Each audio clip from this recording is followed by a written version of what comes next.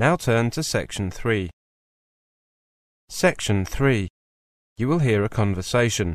First, you have some time to look at questions 21 to 30.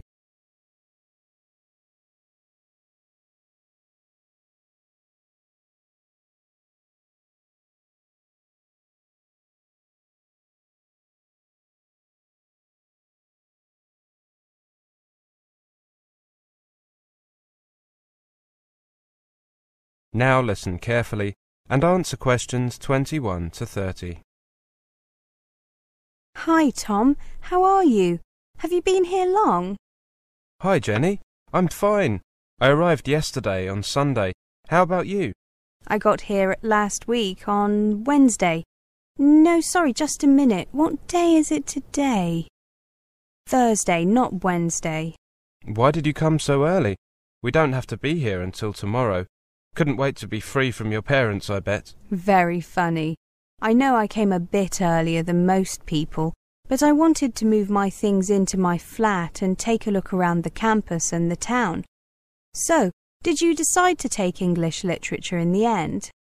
No, I changed my mind and decided on European history instead. At school, you said you were going to take geography, right? Yes, although I was also considering geology. Sounds the same to me. Well, I guess there are similarities, but they're not quite the same. What kind of information have you been given about your courses? Well, not much. I've got my timetable and a basic reading list. Yeah, me too. I've been given a list of books to start reading. I think there are five or six of them. Yeah, I've got a similar list. They're just books that provide the basics for the courses during the first year. So, what's your timetable like? I get Wednesday and Friday afternoons off, but the rest of the days are fairly full. Me too. Do your lectures and seminars start next week too? Yes, I think everyone's do. This week is just orientation, isn't it? That's what I gathered. My first class on Monday morning is, wait for it, oh, modern British history. I'm looking forward to that. How about you? Hmm, human geography, also on Monday morning. It says here that the title of the first lecture is The Victorian Legacy. Sounds good. How about you? I've got global population distribution. Intriguing. Where are you living? I got a place in the halls of residence at Wish Lane Hall. Wish, as in make a wish. Funny name, eh? I'm at Bridge Road Halls of Residence. That's very close to the university campus, isn't it? My place is a bit further away.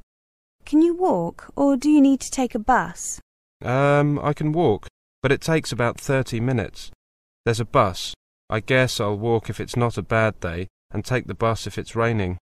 I'll think of you when I'm taking the five minute walk from my hall to the lecture theatre. I'm sure you will. At least I've got somewhere to stay if I don't want to walk home. Cheeky. Is your hall near the main gate or the north gate? The North Gate. Hey, I'm on my way to the shops. Coming? Sure. What are you going to buy? Food? Well, I might pick up a few things, but I was really going to buy some notebooks for taking lecture notes, seminar notes, and some printer paper. That's a good idea. I need a few binders to put my notes in. That's a good idea. I'll get a couple too. Pencils? No, I've got a few. Oh, some pens. I always seem to lose them. Well, you've been here the longest. Where do we go? There's a shop here on campus near the main gate. There's a cafe next door, so we can stop there too if you like. Great idea. I could do with a coffee and a cake. That is the end of section three. You now have half a minute to check your answers.